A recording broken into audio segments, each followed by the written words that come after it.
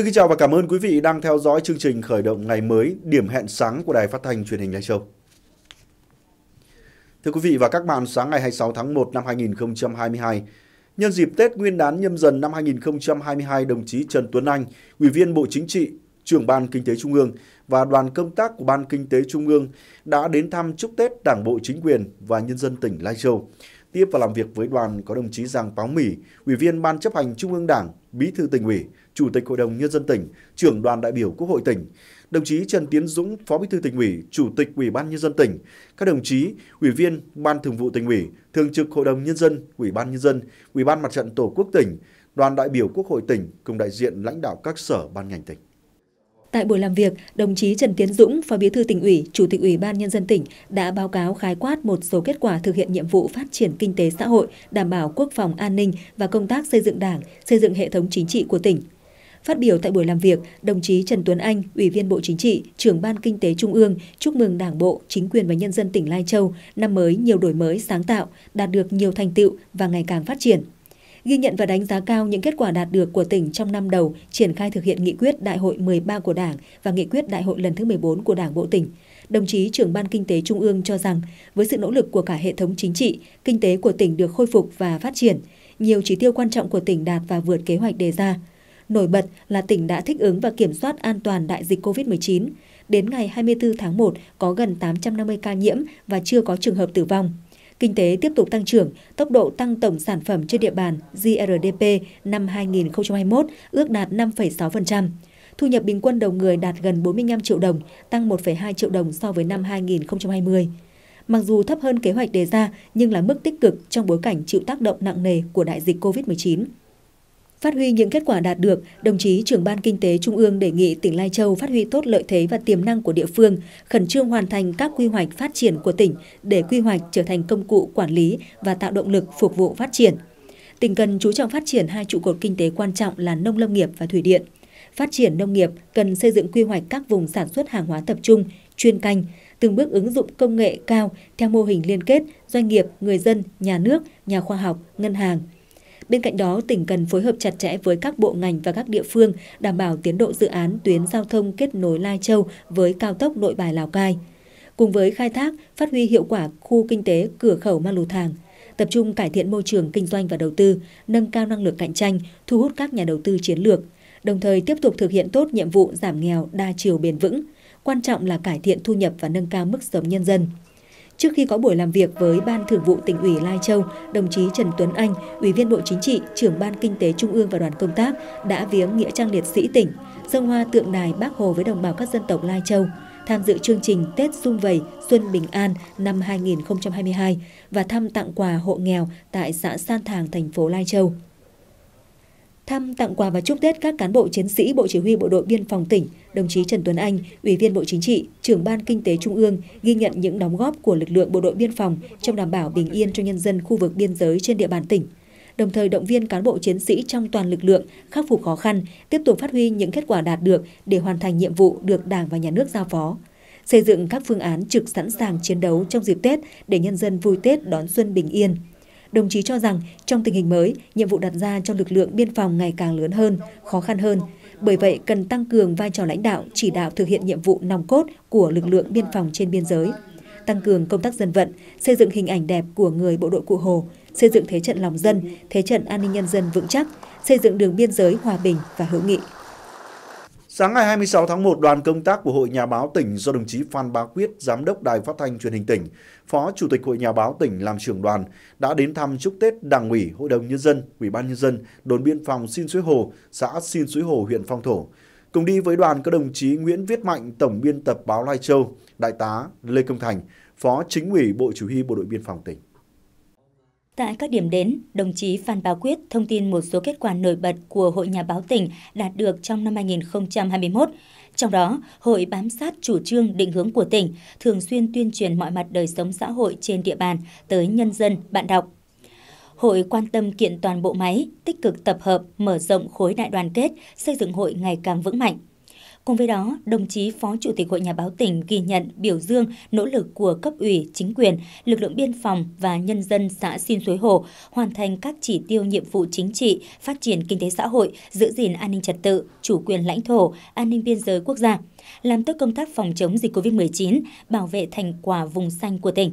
Đặc biệt, sự phát triển du lịch của Xin Suối Hồ đóng góp quan trọng vào sự nghiệp phát triển chung, đưa diện mạo của tỉnh miền núi lên tầm cao mới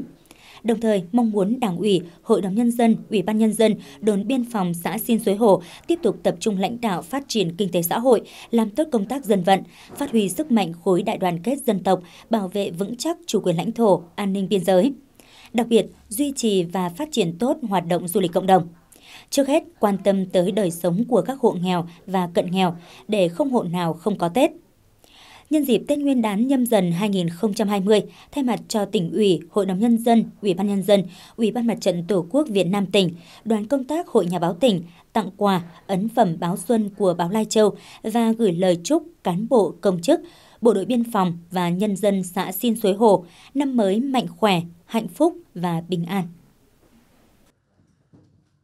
Thực hiện công văn số 375 của Bộ Y tế về việc tạo điều kiện thuận lợi cho người dân trong nước về quê nhân dịp Tết Nguyên đán. Theo chủ trương của Trung ương, để tạo điều kiện thuận lợi cho người dân trở về địa phương và đảm bảo công tác phòng chống dịch, đặc biệt là dịch COVID-19, dịp Tết Nguyên đán nhâm dần năm 2022, Trung tâm Chỉ huy Phòng chống dịch COVID-19 tỉnh vừa có văn bản đề nghị các sở, ban ngành, ủy ban nhân dân các huyện, thành phố, trung tâm y tế các huyện, thành phố triển khai một số nội dung sau. Các đơn vị tổ chức kiểm tra tăng cường giám sát các cơ sở trực thuộc đơn vị quản lý, thực hiện các biện pháp phòng chống dịch theo đúng các quy định, cập nhật áp dụng các biện pháp phòng chống dịch trong tình hình mới theo hướng dẫn của Trung ương, của tỉnh đã ban hành, ờ, chấn chỉnh việc áp dụng các biện pháp phòng chống dịch không còn phù hợp. Các đơn vị chủ động triển khai đồng bộ có hiệu quả và thực hiện nghiêm túc các biện pháp phòng chống dịch trong à, dịp Tết Nguyên đán năm 2022 trên cơ sở tạo điều kiện thuận lợi cho người dân trở về địa phương trong dịp Tết không áp dụng các biện pháp cách ly y tế, chỉ thực hiện thông điệp 5K hướng dẫn người dân à, khi về tự theo dõi sức khỏe, đo thân nhiệt hàng ngày. Nếu có biểu hiện à, nghi ngờ mắc COVID-19 như là sốt, ho, khó thở thì hạn chế tiếp xúc với người xung quanh, hạn chế đi lại, khuyến cáo không đến nơi đông người và thông báo ngay cho cơ quan y tế địa phương gần nhất để được hướng dẫn xét nghiệm SARS-CoV-2 và được xử trí theo quy định. Xin được chuyển sang các thông tin khác. Thưa quý vị và các bạn, công ty điện lực Lai Châu vừa tổ chức lễ đóng điện đưa điện lưới quốc gia đến bản Nà Tam Ba, xã Nậm Tam, huyện Sìn Hồ.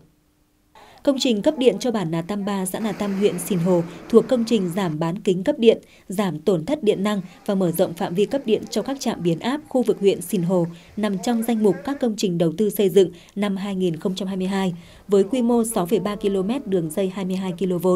trên 3 km đường dây 0,4 kV, một trạm biến áp công suất 50 kV ampe cấp điện cho 25 hộ dân thuộc bản Nà Tam Ba, xã Nà Tam, huyện Sìn Hồ.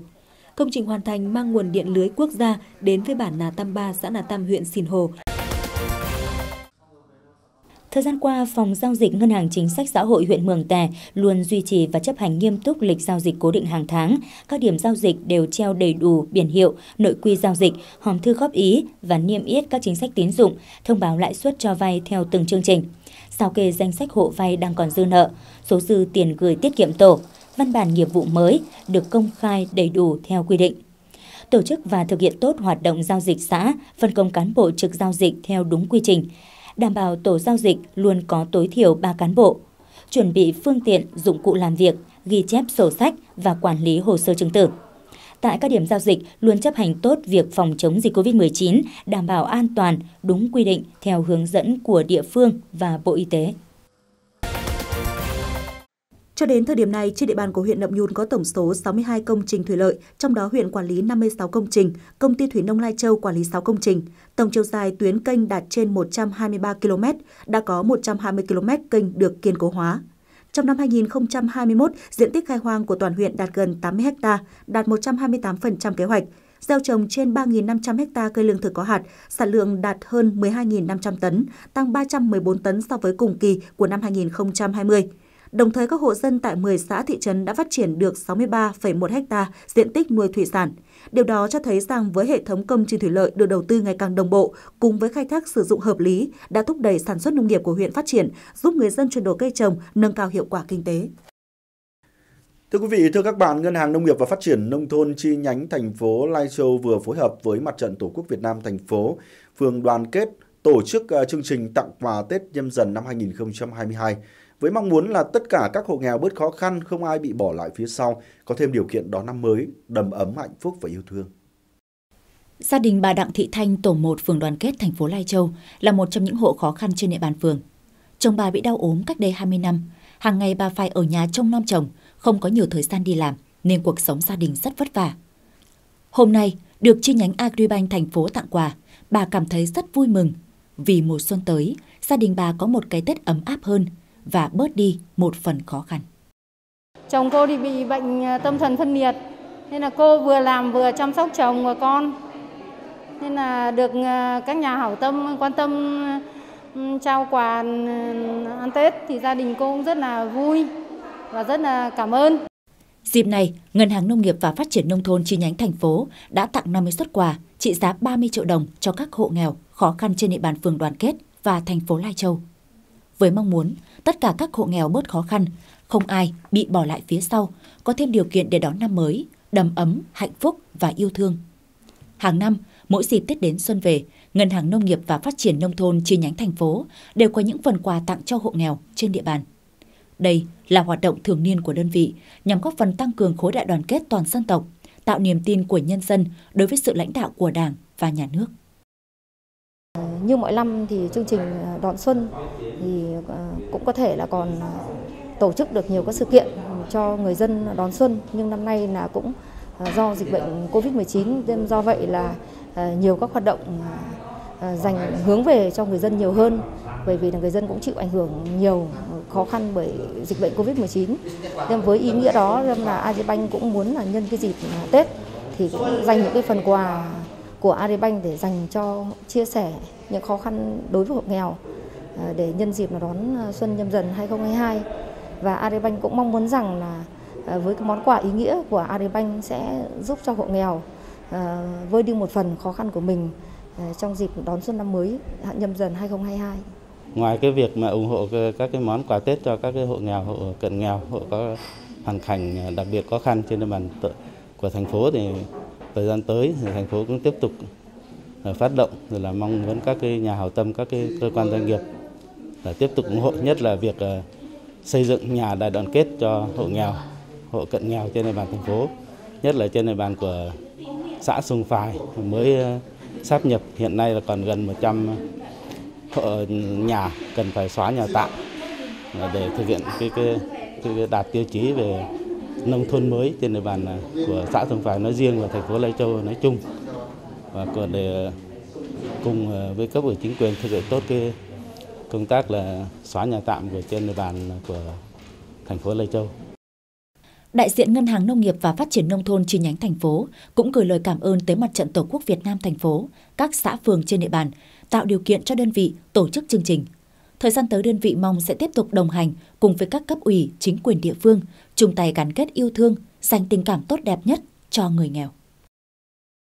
Thưa quý vị và các bạn, vừa qua Hội cựu chiến binh huyện Tam Đường đã bàn giao nhà nghĩa tình đồng đội cho hội viên có hoàn cảnh khó khăn tại xã Tà Lèng. Đây chính là nguồn động viên, là động lực giúp cho gia đình hội viên cựu chiến binh xã Tà Lèng vượt qua khó khăn, vươn lên xây dựng gia đình đầm ấm hạnh phúc, đón Tết Nguyên đán nhâm dần với nhiều niềm vui hạnh phúc. Ông Hàng Báo Sàng, sinh năm 1949, là cựu chiến binh chống Mỹ cứu nước. Trước đây, do điều kiện gia đình còn nhiều khó khăn, vợ chồng ông Sàng sống chung với gia đình hai người con trong căn nhà gỗ nhỏ. Với số tiền 25 triệu đồng do Hội cựu chiến binh hỗ trợ, gia đình còn nhận được sự giúp đỡ của bà con hàng xóm, các tổ chức đoàn thể của địa phương hỗ trợ ngày công. Sau 3 tháng xây dựng, ngôi nhà gỗ mới đã hoàn thành với diện tích sử dụng gần 80 m2. Ngôi nhà hoàn thành ngay trước dịp Tết Nguyên đán nhâm dần 2022, càng có ý nghĩa quan trọng với gia đình ông Báo sàng như vậy là rất là cảm ơn ừ, cựu chiến binh xã này, đảng ủy chính quyền xã này, đảng ủy chính quyền các cấp năm nay tôi đã hỗ trợ cho tôi được à, làm cái nhà mới năm nay ừ, được ăn Tết cái nhà mới như vậy là rất tốt và rất phấn khởi tự hào hơn bao giờ hết. Năm 2021 thì à, à, các ủy chính quyền xã cũng rất rất là, là vinh dự được hội cựu chiến binh huyện cũng như là hội cựu chiến binh các cấp quan tâm Ờ, ờ, hỗ trợ xóa nhà tạm cho các ờ, hội viên cựu chiến binh trên địa bàn xã Tả Lè. Thì đồng thời là cũng xóa các nhà tạm theo cái bộ tiêu chí quốc gia về nhà ở dân cư thì chúng tôi cũng xóa nhà tạm xóa được một tiêu chí. Tiêu chí số 9 ở trên nhà, nhà ở dân cư thì chúng tôi xóa được một tiêu chí ở năm 2021 này. Và cũng nhân dịch là chào mừng 92 năm ngày thành lập Đảng Cộng sản Việt Nam thì hội cựu chiến binh huyện cũng đã phối hợp với cấp ủy chính quyền xã là cũng À, trao những cái nhà đó cho những cái uh, gia đình uh, cựu hội viên cựu chiến binh trên địa bàn xã Tả Leng. Tôi thấy đây cũng là một cái uh, ý nghĩa rất là quan trọng và các ủy chính quyền xã cũng xin trân trọng cảm ơn các đồng chí lãnh đạo hội cựu chiến binh huyện cũng như là hội cựu chiến binh các cấp. Trong năm 2021, Hội cựu chiến binh huyện Tam Đường luôn quan tâm chăm lo đời sống cho hội viên có hoàn cảnh khó khăn. Tại xã tà Lèng, Hội cựu chiến binh huyện hỗ trợ 3 gia đình hội viên xây dựng nhà nghĩa tình đồng đội, mỗi nhà hỗ trợ 25 triệu đồng. Đồng thời, hỗ trợ hai gia đình tu sửa nhà ở bằng cách cấp 1 tấn xi và 1,5 triệu đồng tiền mặt. Nhân kỷ niệm 92 năm ngày thành lập Đảng Cộng sản Việt Nam Quang Vinh và chuẩn bị đón Tết Nguyên đán, đón xuân nhâm dần năm 2022 thì việc trao năm nhà nghĩa tình đồng đội cho các hộ cựu binh à, gặp khó khăn trong dịp này có ý nghĩa hết sức quan trọng, đã góp phần là động viên cán bộ, hội viên, cựu chiến binh là phát huy truyền thống bản chất bộ đội cụ Hồ. Ờ, thêm tin yêu và sự lãnh đạo của Đảng, thêm yên tâm để lao động sản xuất và đặc biệt là sẽ tiếp tục là phát huy truyền thống bản chất bộ đội Hồ, đi đầu trong việc phát triển kinh tế xã hội, rồi tham gia các phong trào, cũng như là Ờ, phát huy cái trách nhiệm cộng đồng và đặc biệt là người cựu chiến binh sẽ góp phần vào xây dựng là cái thế trận lòng dân và giữ vững được cái trận địa tư tưởng của Đảng ờ, trong cái ờ, cuộc sống hàng ngày cũng như đóng góp với xã hội. Việc hỗ trợ làm mới nhà ở cho hội viên cựu chiến binh hướng đến mục tiêu hỗ trợ động viên gia đình cựu chiến binh xây mới, kiên cố hóa nhà ở. Đây là việc làm ấm áp nghĩa tình đồng chí, đồng đội của hội viên Hội cựu chiến binh huyện Tam Đường, mang đậm ý nghĩa nhân văn sâu sắc và là một trong những hoạt động thiết thực chào mừng kỷ niệm 92 năm ngày thành lập Đảng Cộng sản Việt Nam, chào mừng năm mới nhâm dần 2022. Thưa quý vị và các bạn, đồn biên phòng Xin Suối Hồ có nhiệm vụ bảo vệ hơn 9,2 km đường biên giới trải dài trên địa bàn ba xã của huyện Phong Thổ là Xin Suối Hồ, Nậm Xe và Bản Lang với ba cột mốc là 832, 84 và 852. Ngoài thực hiện tốt nhiệm vụ chính trị à, bảo vệ an ninh biên giới, cán bộ chiến sĩ còn tích cực tham gia thực hiện các mô hình à, tăng gia sản xuất góp phần nâng cao chất lượng bữa ăn. Đối với bộ đội biên phòng, tăng gia sản xuất không chỉ là nhiệm vụ thường xuyên mà thông qua đó à, xây dựng những mô hình phát triển kinh tế để đồng bào các dân tộc trên địa bàn học tập và làm theo. Thời gian qua, đồn biên phòng Xin Suối Hồ đã triển khai thực hiện một số mô hình như trồng rau xanh, chăn nuôi gia súc gia cầm như gà, vịt, ngan, lợn, dê và đào ao nuôi cá. Đến nay, tại đồn biên phòng xuyên Suối Hồ đã khai thác được gần 2.000 m2 vườn trồng các loại rau củ quả theo mùa, chuồng trại chăn nuôi kiên cố, khoa học, tiêm vaccine phòng dịch bệnh, vệ sinh chuồng trại, bổ sung thức ăn tinh bột cho đàn vật nuôi. Công việc tăng gia giờ đã trở thành nền nếp tại đơn vị. Sau những giờ huấn luyện là chúng tôi cũng xuống xuống vườn tăng gia chăn nuôi trồng rau trồng rau với làm cỏ các kiểu cho lợn gà ăn với mục đích là trồng rau để nâng cao đời sống bộ đội hoàn thiện à, nâng cao đời nâng cao sức khỏe từ các hoạt động tăng gia sản xuất của đồn biên phòng Xin Suối Hồ, đặc biệt là việc tổ chức chăn nuôi gia súc gia cầm, đào ao thả cá, nhiều hộ gia đình trong xã đã học tập và áp dụng hiệu quả vào phát triển kinh tế hộ gia đình. Nhân dân rất phấn khởi và tin tưởng bộ đội biên phòng. Triển khai hiệu quả công tác tăng gia, đồn biên phòng Xin Suối Hồ luôn chủ động được lương thực, thực phẩm tươi, sạch, phục vụ bữa ăn của cán bộ chiến sĩ, đảm bảo 100% rau xanh, trên 90% thực phẩm tươi. trích nguồn quỹ tăng gia đưa vào bữa ăn của cán bộ chiến sĩ đạt từ 1.000 đến 2.000 đồng một người một ngày, đảm bảo yêu cầu bếp nuôi quân giỏi. Ngoài cái giờ hành chính ra, thì chúng tôi tổ chức ờ, tăng gia chăn nuôi, trồng rau, nuôi lợn, nuôi gà, mục đích để cải thiện cho cán bộ chiến sĩ. Thế ngoài các khẩu phần ăn quy định ra thì chúng tôi còn ờ, chi thêm vào bữa ăn hàng ngày là 100 nghìn đồng cho bữa ăn cho cải thiện đời vụ cán bộ chiến sĩ. Nhờ nỗ lực tăng gia sản xuất mà thực phẩm cung cấp cho đơn vị ngày càng phong phú, sản lượng bình quân hàng năm đều tăng. Đời sống cán bộ chiến sĩ ngày càng ổn định, các đơn vị yên tâm trong công tác tuần tra kiểm soát, giữ vững chủ quyền biên giới quốc gia. Cùng với đó, mô hình tăng gia sản xuất giúp nhân dân trên địa bàn đồn đóng chân học hỏi kinh nghiệm, áp dụng phát triển kinh tế, xóa đói giảm nghèo, góp phần xây dựng thế trận lòng dân vững chắc. Thông tin vừa rồi cũng đã khép lại chương trình khởi động ngày mới của Đài Phát thanh Truyền hình Lai Châu. Cảm ơn quý vị đã dành thời gian quan tâm theo dõi. Xin kính chào và hẹn gặp lại quý vị.